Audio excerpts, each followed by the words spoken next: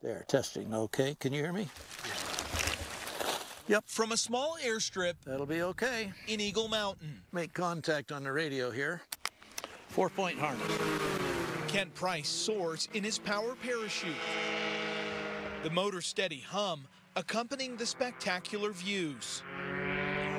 Today's flight is bittersweet.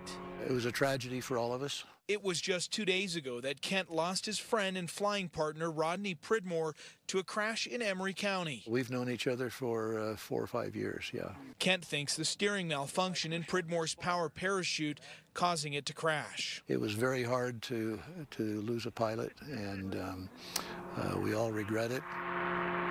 Kent says the quirky sport is getting a lot of attention. They do ask questions about where we can fly. Kent has been a uh, commercial pilot for 50 years.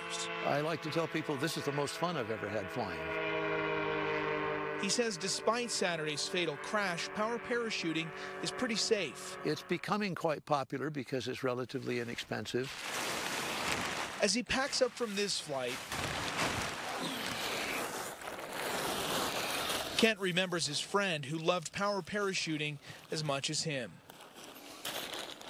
A very deep tragedy that we hope will never happen again, and uh, hard to take.